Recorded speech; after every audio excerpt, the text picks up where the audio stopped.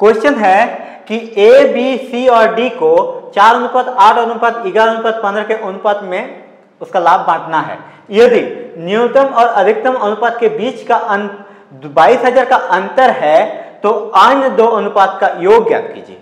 तो यहाँ पर चार अनुपात दिया हुआ है ए बी सी डी का चार अनुपात, आठ अनुपात, ग्यारह अनुपात, पंद्रह। ठीक है?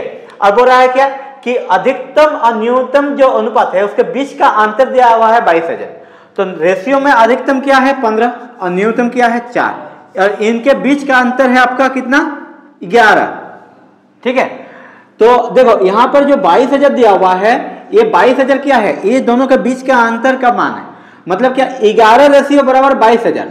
तो एक रेशियो बराबर क्या आ जाएगा? बाईस हज़ार बाई ग्यारह काटोगे तो आएगा कितना? दो हज़ार। दो हज़ार जो आया यो आया एक रेशियो का वैल्यू ठीक है? समझ में आ गया? अब क्या निकालना है? अब यहाँ पर निकालने बोल है कि अन्य दो अनुपात का योग ज्ञात कीजिए। अन्य दो अनुपात मतलब क्या? बी और सी तो बी और सी के रेशियो का अनुपात कितना हो रहा है? आठ अनुपात ग्यारह।